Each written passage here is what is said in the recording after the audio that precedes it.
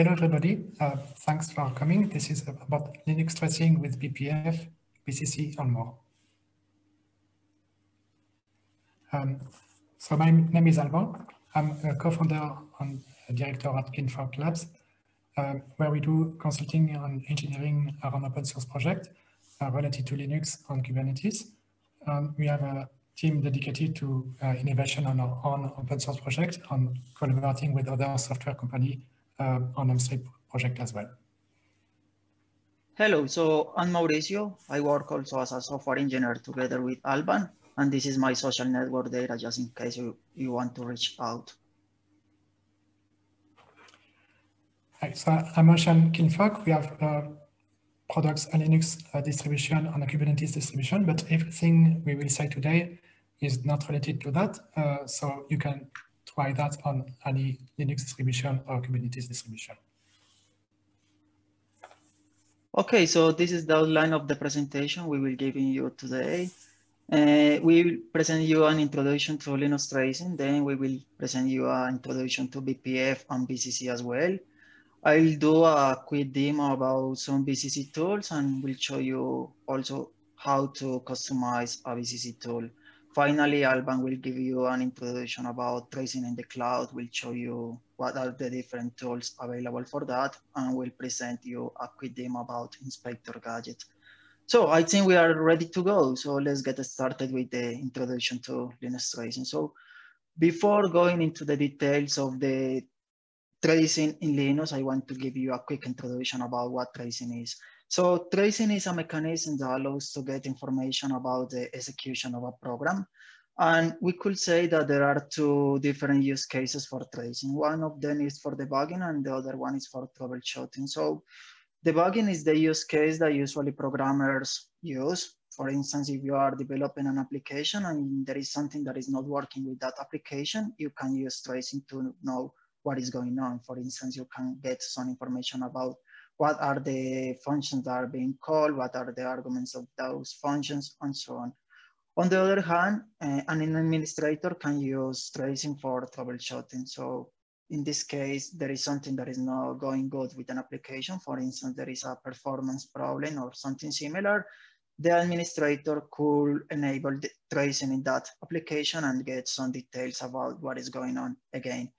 Uh, the performance uh, in tracing is very important because we want this to be as low, the overhead to be as low as possible. So it should be able to disable or enable uh, tracing at compile or runtime. Okay, so let's go in some details about uh, Linux tracing in particular. So we could say that for Linux tracing, we can divide uh, it in three different layers. So the first layer are the data sources. So those are the components that provide information about what is going on. Those are the components that are connected to the applications or to the kernel and get the information. And this can be divided into different kinds. So we have the probes and we have the trace points.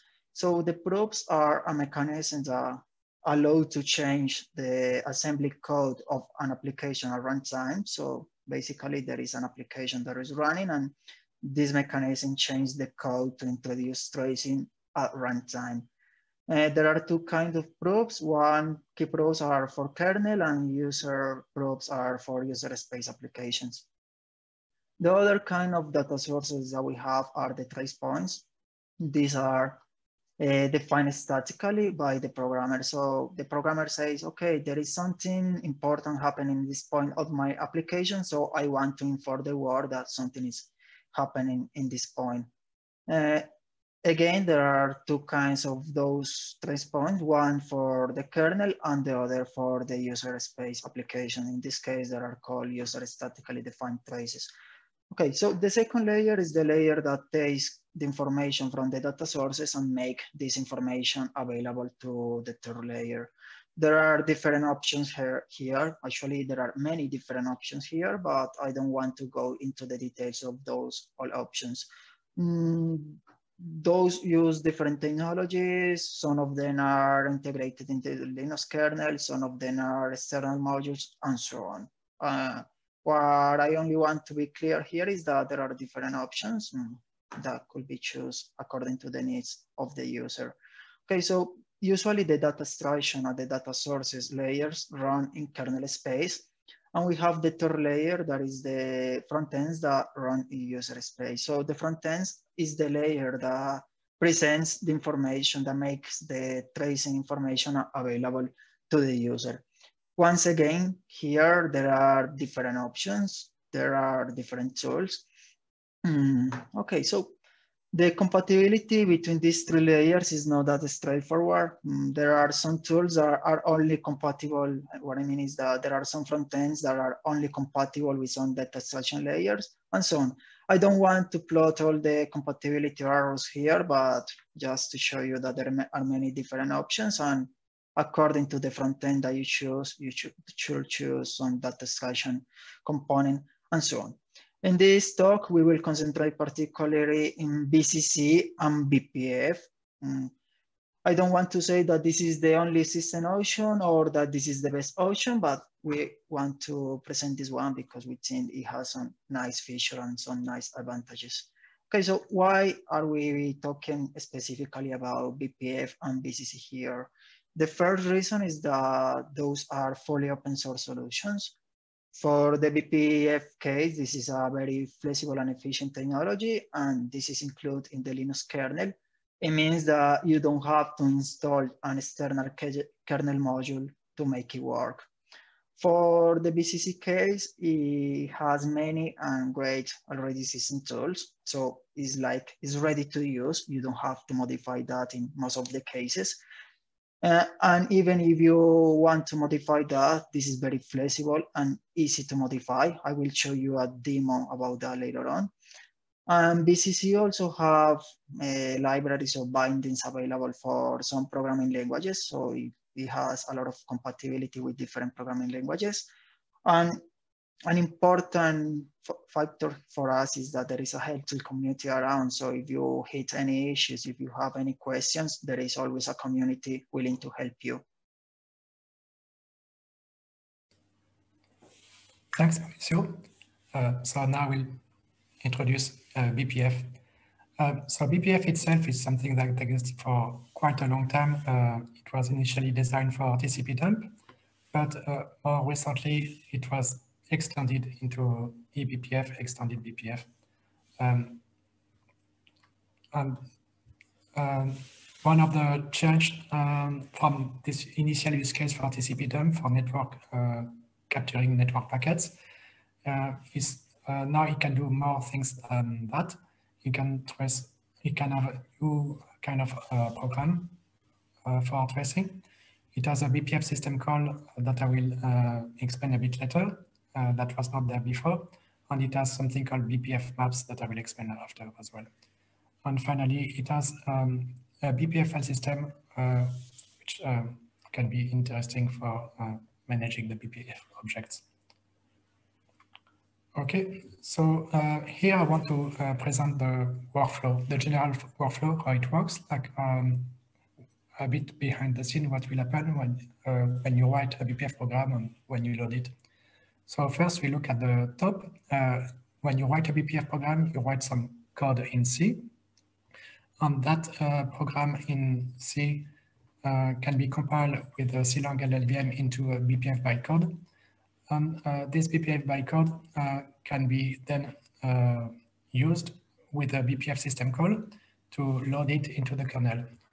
And once your BPF bytecode is loaded into the kernel, the first thing that the kernel will do is to verify. Uh, so there is this uh, step called the verification from the verifier uh, that will verify that your program is safe. Uh, so this is to ensure that it will not crash your kernel and it will not do anything dangerous. That should not happen. I will go back to that a bit later. Uh, if the verifier say the program is uh, safe to run, then it is uh, in the kernel and it can be attached uh, later to um, one of the hook I will describe in a bit, in a moment. Uh, then this BPF program can call kernel functions um, with the BPF helper functions and it can interact with eBPF maps. Um, that's the latest mechanism I will explain a bit uh, soon. Okay, and then uh, the BPF program, when it is executing, it interacts with the application only through the BPF maps. So that's a communication mechanism to retrieve information from the kernel into uh, the tracing application. Okay, uh, as I mentioned before, there are different kind of BPF programs. Now that we have eBPF, um, it's not only for tcpdump anymore, but it's for more use case. Uh, here, there are three categories about networking, um, about security, and about tracing. But in this talk, we'll focus only on the tracing. Uh, so it's about using BPF program of type kprobe or tracepoint or uprobe and a few others that um, Mauricio mentioned before. And um, so a BPF program can be attached to different uh, hooks in the kernel in that way.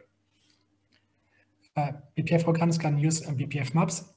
A map is kind of a global variable that uh, on that is on the Linux system, and that variable uh, is accessible both by, by the programs, by user space programs, uh, using the BPF system calls, or it can be available from uh, different BPF programs using the BPF helper function. Uh, so I don't mean to go into these uh, details of the API. I just want to show that it, it is a mechanism uh, for many, it is used for BPF programs to transmit information to the user space program. Okay.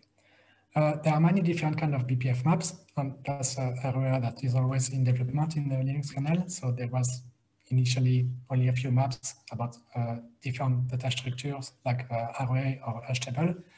Uh, but uh, in the latest kernel, I checked there is uh, 27 different types of maps now. Uh, so there are many different kind of data structure, including different kind of ring buffers to transmit information from the kernel into user space. And there are some specialized data structure, for example, longest, longest prefix match, or queue, uh, and so on. Um, how do we use the map? Um, yeah, uh, there is this BPF uh, system call that you can use to create a map. Um, but when you are on the terminal, you can use this uh, command line tool, bpftool, to create a map, and then you can make it visible on the BPF file system.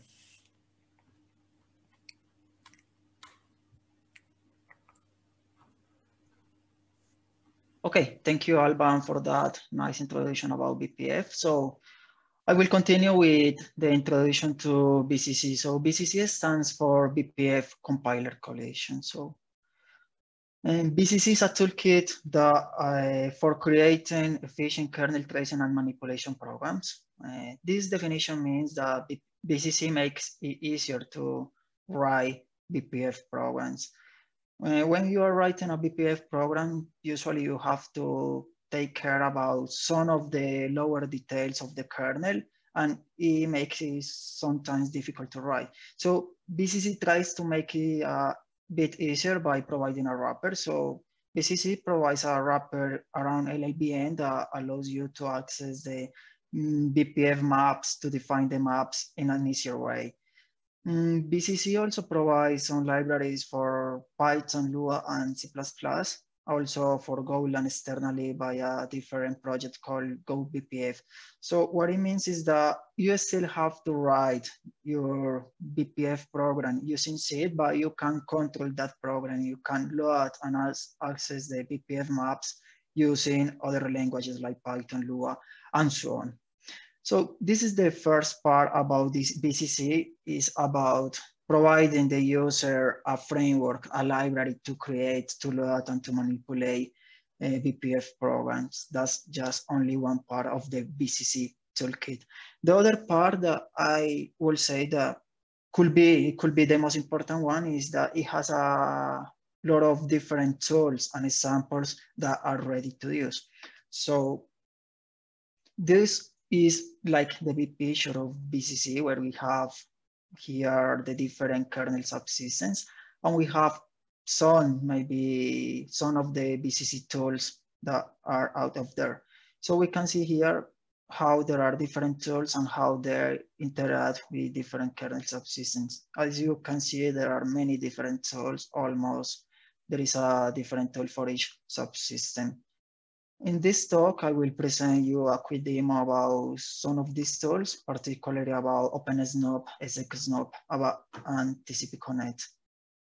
If you want to get more information about these tools, you can go to the uh, BCC repo and you can see the list of the different tools that are there. You can see a small summary, a small description about the tool if you click the name, the, then you can get, you can have the full documentation about that specific tool. And there are also some examples about how to use those tools. So before going into the demo, there are different options to install BCC. The first option is to install a package, a package for your distro. So if you're running Ubuntu, Fedora, or a popular distro, there are packages available for that one. Uh, if you don't want to install anything on your system or you are running a different Linux distribution, you could run BCC on Docker. In this case, you want to provide some special flags. So I just put in the command here in case you want to, to run this. Mm, there is a small detail. There is, no of, there is not an official BCC Docker image. So at we have some images that we maintain time to time with the BCC functionalities. The last one is if you want to develop BCC or you want to try a feature that has not been released yet, you could install from source. In this case, this is needed to make some attention about the dependencies, especially the kernel. In order to compile BCC, we will have to be running the latest kernel. Okay, so this is time for a demo. So let me switch to my terminal. Okay, so here I have the different BCC tools on my system. Mm, this is actually non uh, BCC installation by running, I have here a git clone of the BCC repo. So as you can see here, those are the different tools that BCC includes. Okay, so let me show you opensnoop. So we can, if we want to get more information about a tool, we can run always with the, this option to get some help. So for instance, we can we can see a small description about what the tool is about. We can get information about the arguments that can be used and so on. Okay, so the opensnoop tool allows to get information about open, open files on the system. So it shows when a process tries to open a file, right?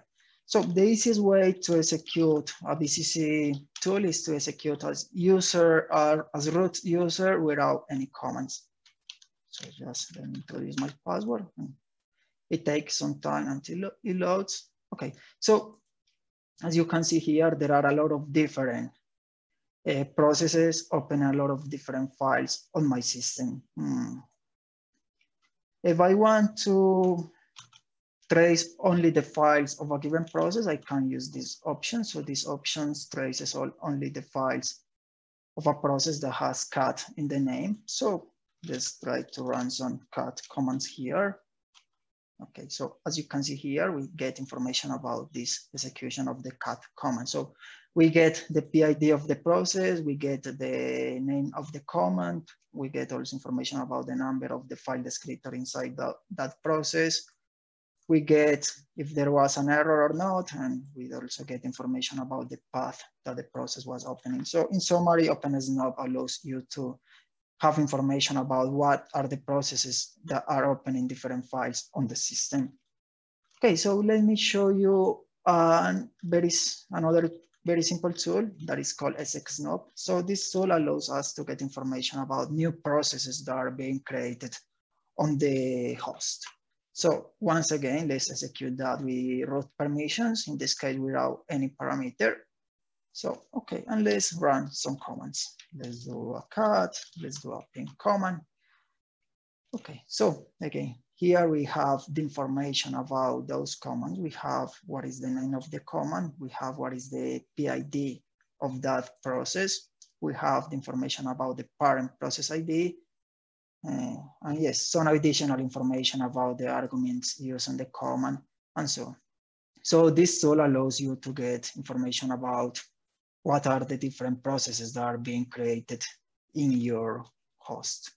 Okay, so finally, I want to show you another tool. This is called TCP Connect. So this tool allows us to get information about the different TCP connections that are being created from the host. So in other words, when a process tries to call the connect syscall for the TCP protocol, it prints that information on the screen. So again, we can run the tool without any commands. And then we can try to open some TCP connection. So let me try to Kinvolk and let me try to open to Google. And okay, so we have also some information here. We have the information about what, what was the PID uh, performing that operation, what was the command, what is the source address, in this case, the address of my computer, what is the destination address, and what is the uh, destination port of the request. So this tool is useful to understand what are the processes that are trying to open TCP connections to a remote host. Okay, so as, as you can see, there are many different tools available. You can go to the repo and get information about those tools. Mm, basically, uh, you will find a tool for all the tasks that you need to do. But it could happen in some cases that you want to do something special that is not implemented in some of those tools. Maybe you need to create a new tool and you, you need to customize an already existing tool. So I will show you quickly how to customize an already existing BCC tool. Before showing you the code, I want to present you how a BCC tool is done. So the BCC tools are composed are composed by two different things. One is the BPF program and another one is the user space script. So the BPF program is the piece of the tool that runs in the kernel. It captures and filters events. So it's attached to a key project proof and so on, take, takes the events from the kernel, perform some filtering, and then sends those events to the user space script using a buffer, in this case, a parent buffer that is a kind of BPF map. Then the user space script, what does is to parse, parse the user options. It customize the BPF code according to the user options. We will see this in detail later on. Then it attaches the BPF program to the kernel. And finally, it runs a loop uh, pulling this BPF map and printing these events in a human readable way. So here we have the two different components of the of our BCC tool. We have user space, we have kernel space. So this is the user space component of the BCC tool that uses the BCC Python bindings to create and to compile the BCC tool and then to attach that.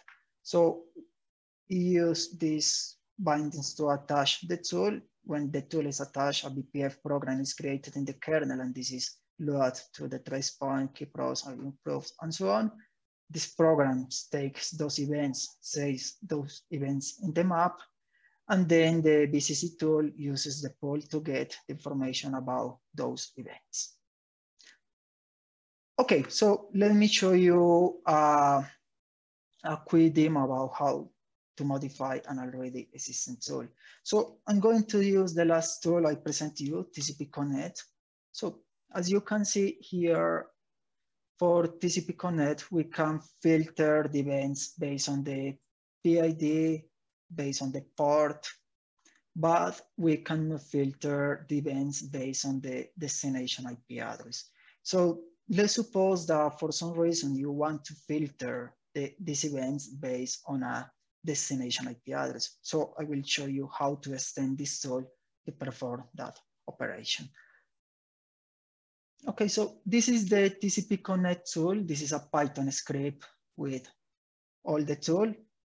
I will go show you quickly how this is done. So we have the imports here to import the different functionalities that we need. Some of them are for BCC and some of them are for the generic Python libraries. Here we have the information about the different options that are exposed to the user. and here we have the BPF program. So the BPF program defines some maps to send that information to the user space uh, application and so on. We have some definition of the structure. Mm, this is not important for you to understand all of these details here. I want to show, I only want to show you a general overview of the program.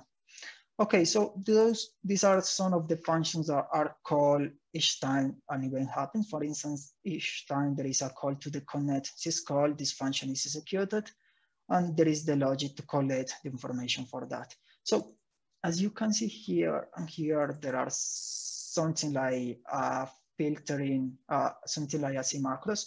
So these macros are the filtering mechanism. So these macros are, they, are then replaced by this tool in order to perform the filter if the user wants to enable the filter by that option. I will show you in, in a second how it works. Okay, and here we have some more information about some more code for getting the event, for getting the full information of the event from the kernel.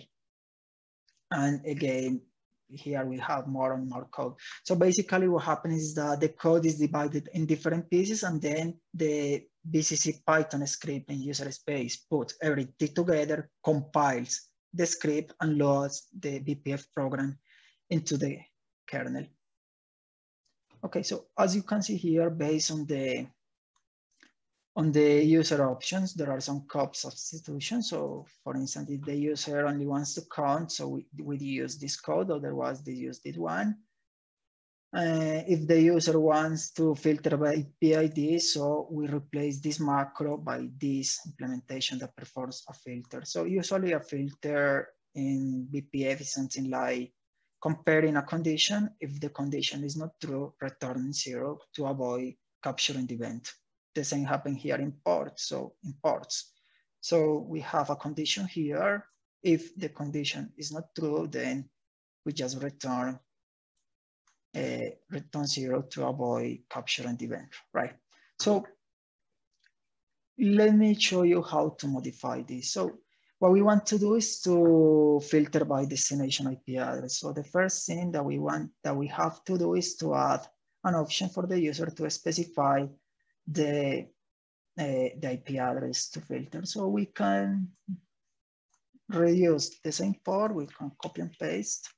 Okay, okay and I'm going to show the collie A address, right? And okay, here we just have to put some documentation.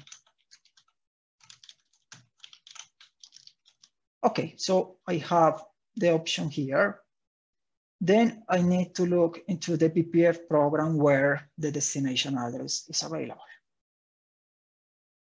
So if we go here, here we have the we have the filter for the for the port, and here we have some code for the IPv4 uh, specific case. So if we go here, we have that the, we have the destination IP address here. So what we can do is filter IPv4.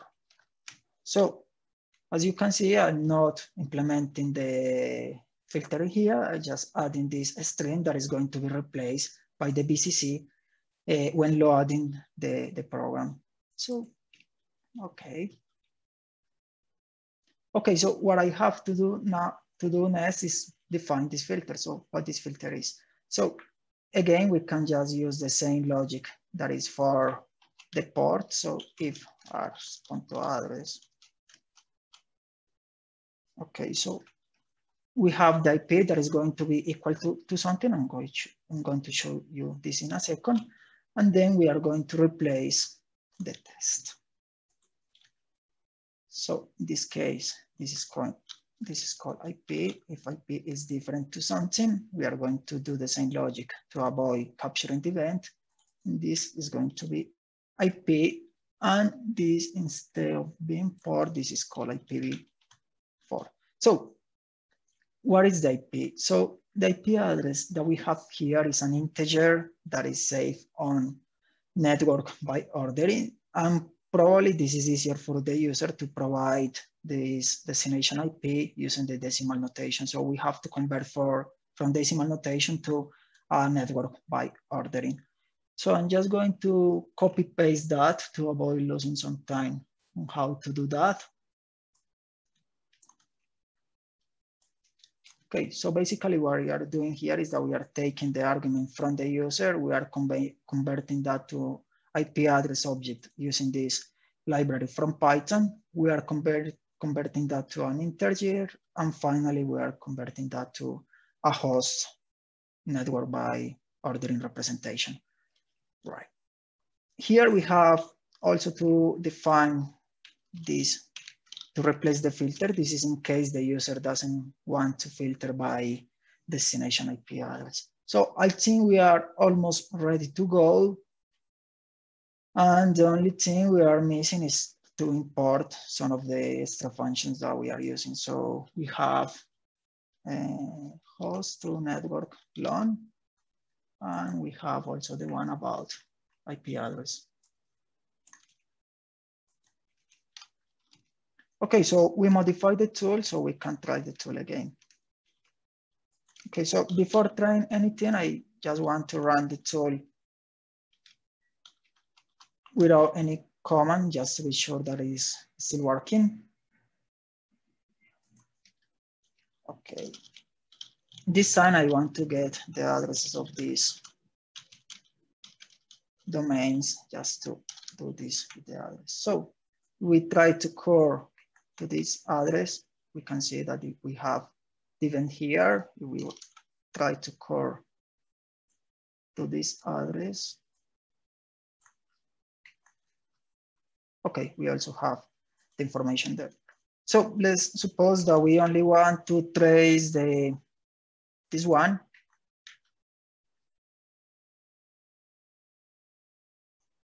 Oh, I got a small error. Let me check that.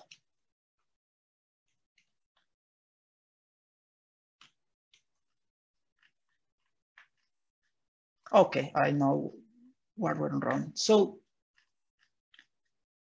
in the filter here, I'm using IP, but this should be the destination IP address.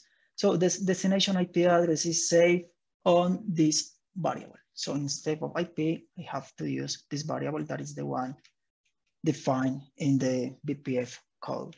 So let's try again.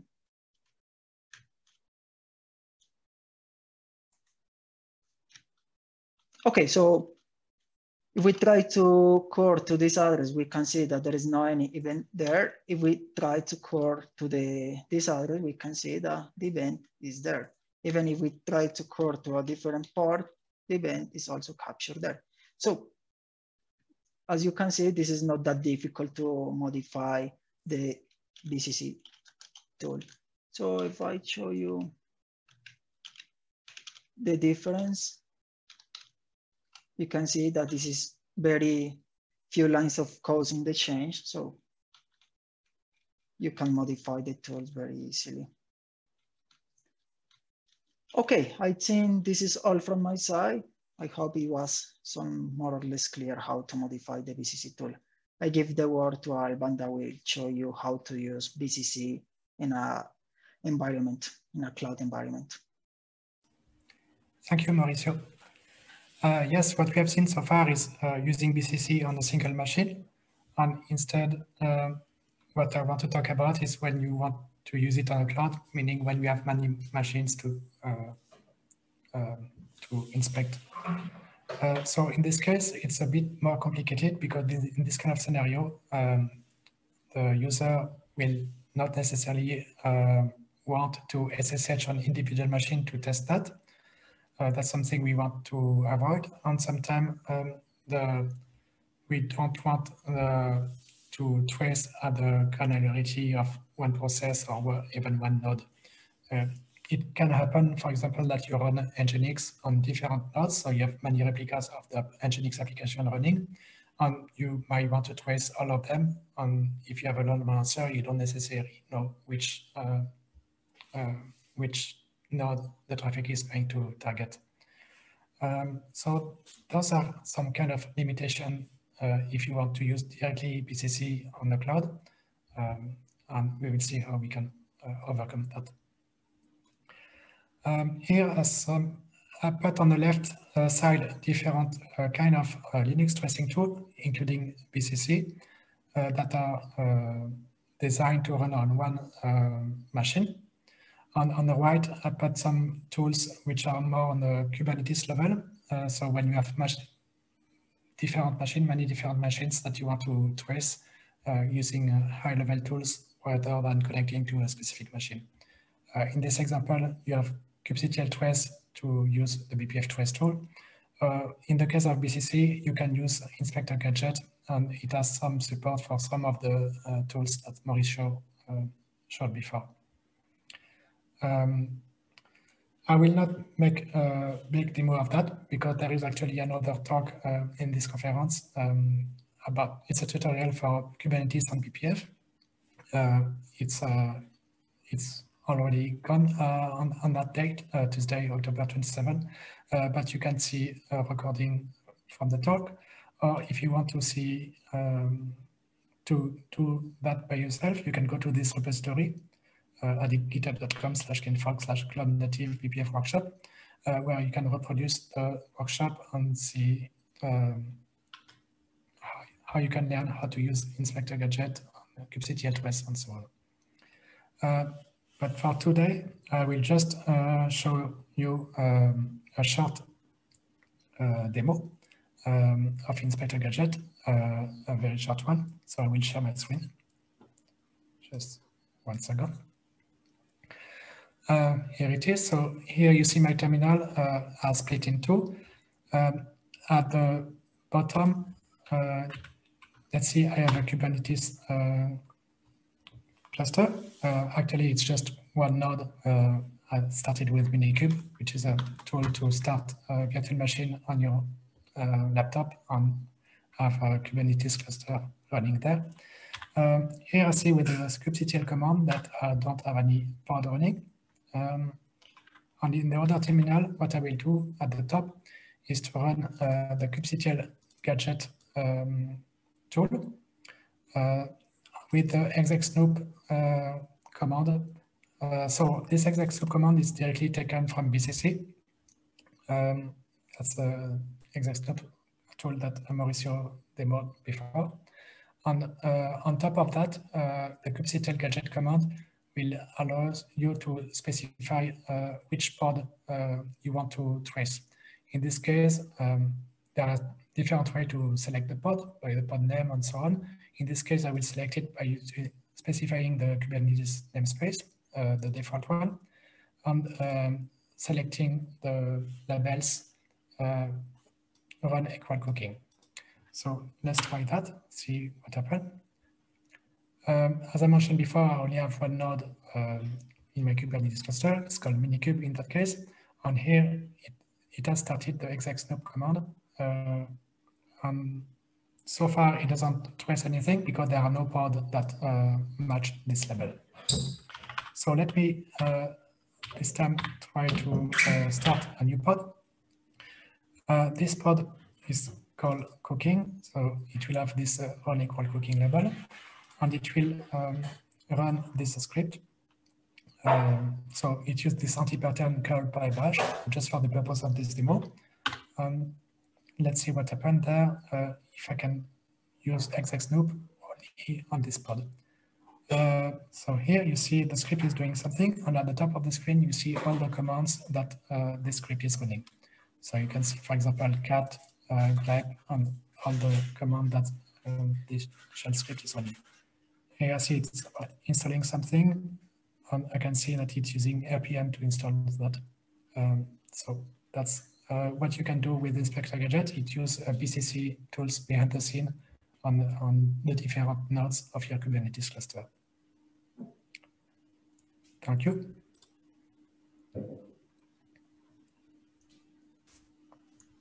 Okay, just let me share my screen again. Okay, so before finishing this presentation, um, in the slides, we have some reference material just in case you want to know more information about that. Here you can find a lot of different information about how to use BCC, how to use BPF, how to use Inspector Gadget, and the different tools and technologies we show you in this uh, presentation. So I think this is all. Thank you very much. I hope you have enjoyed this presentation.